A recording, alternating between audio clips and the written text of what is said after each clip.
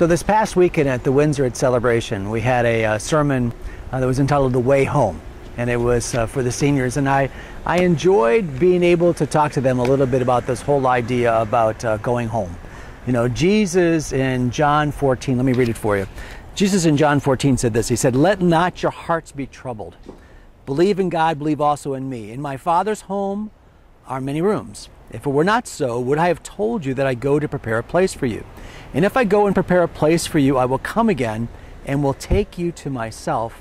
And where I am, you will be also. And you know the way I am going. So what I what I shared this last weekend at the Windsor was that the first question is, well, why are the apostles troubled? Jesus starts off by saying, "Let not your hearts be troubled." Well, there was good reason for them to be troubled. There was, in fact, there were two primary reasons. One, Jesus had been not only telling them that he was going away, but he told them he was going to be handed over to the Jews, the religious leaders, and he would be crucified. He would die, but he would rise again.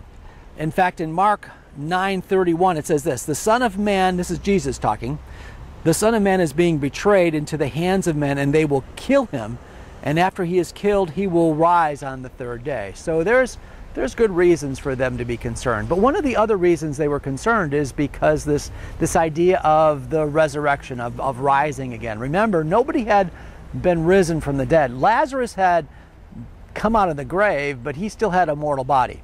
Uh, the, there was a belief in the resurrection that was a little bit uncertain at the time of the apostles. There was two groups of people you probably remember. There were the Sadducees and the Pharisees. The, the Sadducees were the aristocrats. There was, they were the majority of the Sanhedrin. They were wealthy people that were friends of the Romans. They also didn't believe in a resurrection.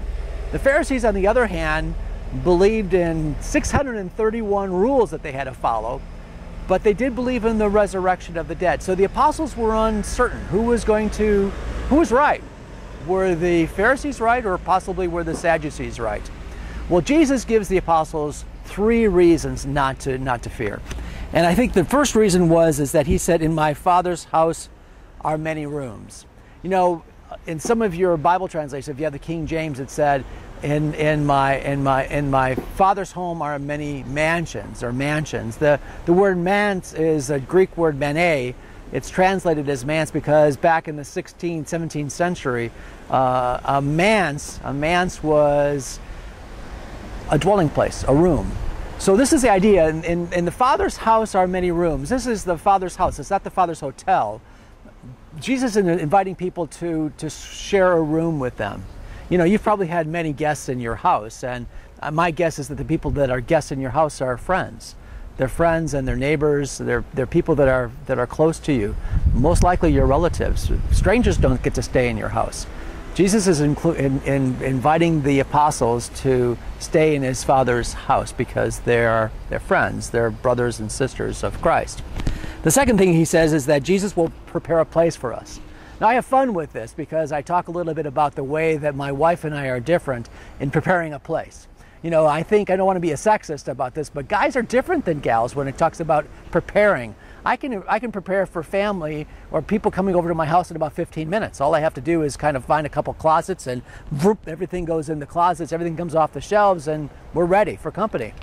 My wife is not like that. She cleans. She she picks things up and she cleans them and she cleans the space underneath them as well.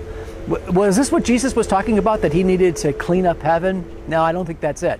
There are actually two things, and this is very important, two things that Jesus had to do. Number one, sin had to be atoned for. You see, there had been this open house, this op- rooms available, if you have it, um, in heaven for, for thousands of years. But heaven was unoccupied. The only people that had been to heaven were the angels and, and Jesus himself. Heaven was unoccupied. Nobody was worthy. So sin had to be atoned for.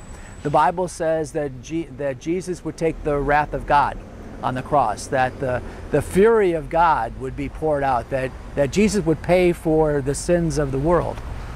And that's what he would have to do. But the other thing was that, had to be, that death had, been, had to be defeated.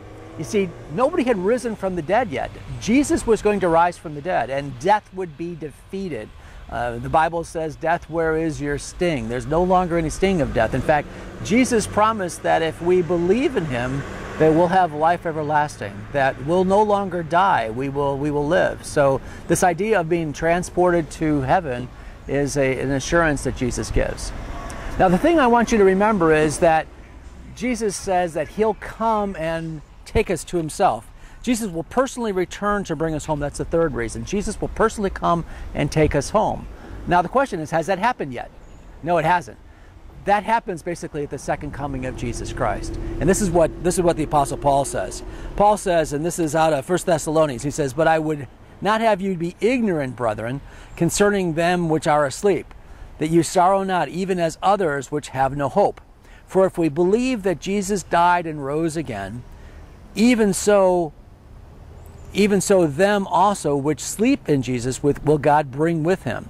For this we say unto you by the word of the Lord, that we which are alive and remain until the coming of the Lord, that's the second coming of the Lord, shall not pre- uh, prevent them which are asleep.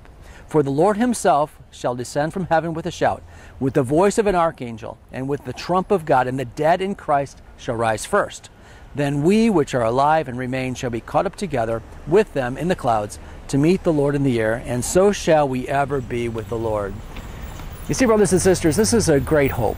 Jesus said that we are not to be alarmed, we are not to be afraid, we are not to be troubled.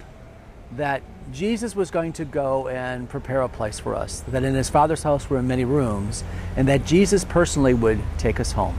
What a great hope we have that Jesus will take us home. I know there's been times when my, my children uh, were a little bit further away from us, five or six feet. It seemed like a long distance for them, and all of a sudden they realized their mother or father wasn't there and they were afraid.